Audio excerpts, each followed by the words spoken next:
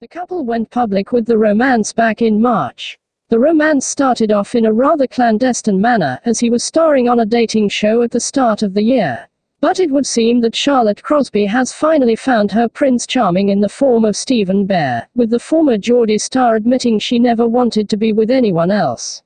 Revealing that she'd found a soulmate in the tattooed reality star, the telly favorite 27 admitted she was already thinking of what the couple would name the children.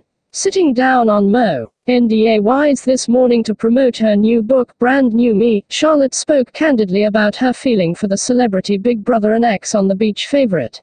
Asked by Phillip Schofield and Holly Willoughby if it was hard to live with Stephen, who is famed for his immature behavior and poor manners, she revealed he was a completely different person away from the cameras. He's actually very sensible, she told the presenting duo. He's got this side to him that you'd be shocked at, he's got the most loveliest soul.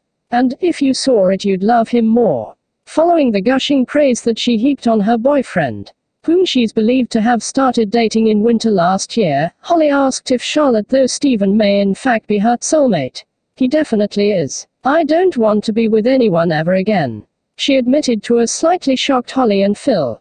And it would seem that Charlotte and her beau are already thinking of some very big steps, as she revealed she has been thinking of what the couple would name the children.